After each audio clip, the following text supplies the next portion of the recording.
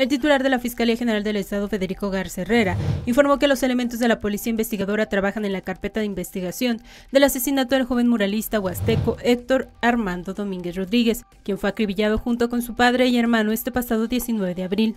Garza Herrera confirmó que en el mes de septiembre del año pasado, el Hoyo Exiso denunció un atentado armado en su contra, del cual se derivó una estrategia de protección para esta persona, el cual fue consensuado directamente de la familia pero no queremos especular, queremos ser responsables para que la gente sepa en su momento qué fue lo que sucedió y qué es lo que pasa. Hay varias líneas de investigación, como yo les decía, eh, estamos atacándolas y eh, ténganlo por seguro que vamos a dar buenos resultados en relación a ello.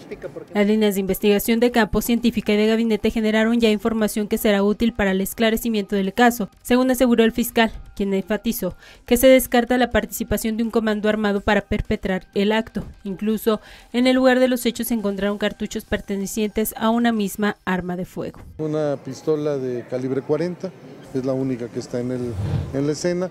Hay que esperar también resultados.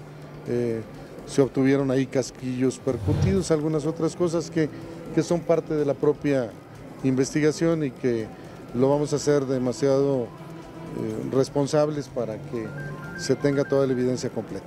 Con información de Oswald Vélez e imágenes de Adrián León, CN13 Noticias.